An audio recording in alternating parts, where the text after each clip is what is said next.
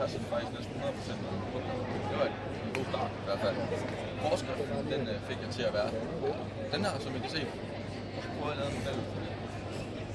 Og den model, der kom ud af det, det var den her. Der skulle jeg kende hastigheden, som objektet er ramt med, intensiteten på objektet og diameter.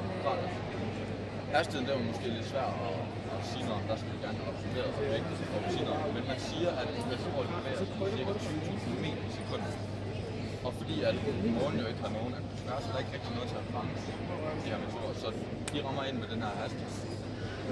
Densiteten, der har jeg sagt, okay, der tager jeg densiteten for hele stoffet. Øh, det var det nemmeste lige at gøre. I hvert fald, når jeg gjorde det, lavede min regning på Alfonsus og jeg indsatte den hastighed 20.000 meter i sekundet og densiteten for jern.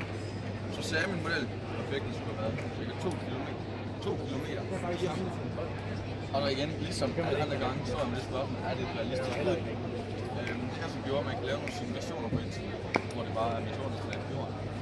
Så jeg prøvede også at indsætte alle de, øh, den diameter, jeg har fået på virkelig 2 km, og den hastighed og den densitet, jeg har fået. Og så sagde simulationen, at hvis det har objekt skulle ned på jorden, så skulle den anden parter på 66 km. Det ligger jo lidt fra de her 103 km, som vi gerne vil op på. Men der er så det, jo større tyngdekraft er, jo mindre bliver krater. Det vil sige, hvis det samme objekt skulle ned på jorden og på månen, så vil helt automatisk blive meget større på månen, fordi der er meget lavere tyngdekraft. Samtidig så er der det med de simulationer, at de, øh, de data, man indsætter, det er inden objektet kommer ind i er. Og når det kommer ind i atmosfæren, så når det altså også brændt, øh, brændt en lille smule op, så virkelig bliver mindre. Og hastigheden bliver også lavere, fordi det bliver varmt. Og de to ting gør faktisk, at krateret bliver endnu mindre.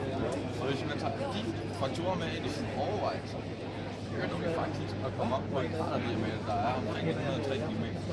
Så det vil sige, ud fra den her forsøgsopfølging, for det forsøg, jeg har lavet, der har jeg faktisk fundet frem til, den som faktisk kan give et stykke øh, på objekter. Hvis der har været en kæmpe mæssig golf, så skulle det Det sker nok ikke, men øh, det var fordi, det var lige, ja, det kunne da meget sjovt at se. Det kan jeg Jeg tænker også, at det, det har du hygget dig med at gå og tænke over, hvad irriteret Oscar til. Rigtig meget. Det er. Rigtig flot arbejde. Tak. specielt Øh, nej, det var faktisk fordi, at jeg havde, jeg havde taget det billede her, og så øh, lavede jeg også, jeg skrev også en del teori om, hvordan det her så lidt. Og så var der inde på en af de øh, sider, jeg brugte, der var der et billede af et kram, hvor øh, det her Alfonso Og så, jeg, jeg har sådan prøvet at finde nogle parter, der skulle gerne ville også samle. Men så stod der den her Alfonso Scott, og så kiggede jeg lige på det, og jeg havde til der struktur, har jeg set før. Og så viste det sig så, at det var faktisk det, jeg kunne se her. Så det var faktisk helt tilfældigt, at jeg lige fandt ud af, at Alfonso Scott er det, det jeg kan se her. Og så tænkte jeg, okay, nu har jeg faktisk navn på en kratertegn. Så den har jeg lyst til Og så øh, var det en idé, at man kan tage det.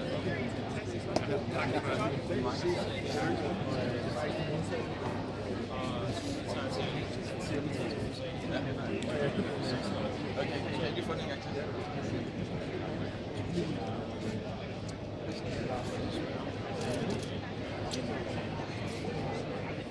Nå, fedt. Ja.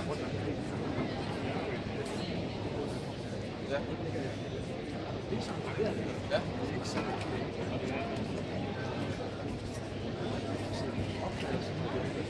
Ja.